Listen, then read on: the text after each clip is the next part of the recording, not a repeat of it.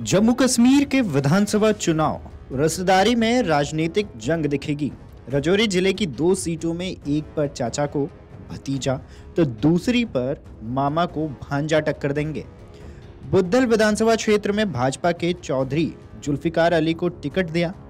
इसी सीट पर national conference की टिकट पर जुल्फिकार के भांजे जावेद इकबाल चौधरी चुनावी मैदान में हैं।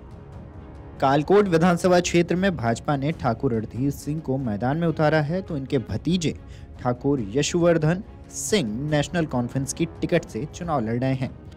बुद्धल से भाजपा प्रत्याशी Chaudhary Zulfikar Ali National Conference PDP पर जम्मू कश्मीर को लूटने के आरोप लगा रहे हैं।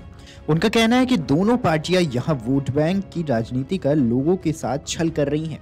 वहीं नेशनल कॉन्फ्रेंस से जुल्फिकार के भांजे जावेद इकबाल चौधरी भाजपा पर धर्म की राजनीति करने के आरोप लगा रहे हैं। उनका कहना है कि भाजपा लोगों को आपस में लड़ाकर और विकास के झूठे दावे कर वोट मांग रही है। उधर कालाकोट सीट से भाजपा के चाचा ठाकुर रणधीर सिंह, सबका साथ, सबका विकास, सबका विश्वास के नारे के साथ मतदाताओं को लुभा रहे हैं। नेशनल कॉन्फ्रेंस में उनके भतीजे ठाकुर यशवर्धन सिंह अनुच्छेद 370 वापस लाने, जम्मू कश्मीर को फिर राज्य का दर्जा दिलाने और अन्य वादों के साथ वोट मांग रहे हैं। दोनों सीटों पर अपनों को ही चुनाव मैदान में आमने सामने होने से मुकाबले दिलचस्प हो गए हैं। इन दोनों मुकाबलों में कौन मतदाताओं को लुभा बाजी मारेगा, ये तो आने वाला वक्त ही बताएगा। कालाकोट से पूर्व विधायक ठाकुर रसपाल सिंह जीवित थे। तो उनके बेटे ठाकुर यशवर्धन सिंह और उनके भाई ठाकुर रणधीर सिंह मिलकर नेशनल कॉन्फ्रेंस के लिए वोट मांगते रहे हैं। अब सियासत में चाचा भतीजा विरोधी बन गए हैं। ऐसा ही बुद्धल और कालाकोट सीट पर देखने को मिल रहा है। उधर विधानसभा चुनाव के पहले चरण में मतदान के लिए नामांकन प्रक्रिया पूरी हो गई है। अब चुनावी रैली और जनसभाओं का दौर शुरू हो गया है। बता दें कि पहले चरण में चुनाव वाली यानी डोडा किश्तवाड़ ज़िले की छह विधानसभा सीटों पर इस बार सबकी नज़रें रहेंगी।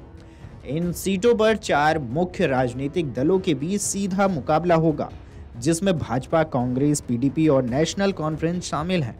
पहले चरण के चुनाव में तेईस दशमलव सत्ताईस लाख से अधिक मतदाता वोट डालेंगे, जिनमें 11 लाख से ज़्यादा पुरुष मतदाता और 11 लाख से अधिक महिला मतदाता हैं। साथ ही 60 थर्ड जेंडर वोटर्स हैं।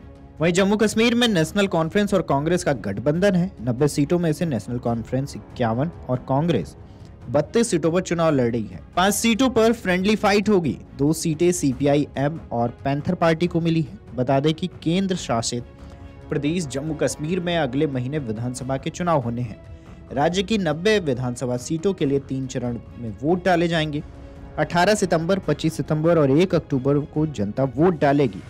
तो वहीं चार अक्टूबर को चुनाव के नतीजे घोषित किए जाएँगे। अब सरकार बनाने के लिए बहुमत का आंकड़ा छियालीस है। ऐसे में देखना दिलचस्प होगा कि पार्टी के इन समीकरण पर किस तरीके से गेम आगे बढ़ता है। Video desk Amar Ujala dot com. अगर आप ये वीडियो YouTube पर देख रहे हैं तो हमारे चैनल को सब्सक्राइब करें और बेल आइकन को दबाना ना भूलें। अगर आप Facebook पर यह वीडियो देख रहे हैं तो हमारे पेज को लाइक करें।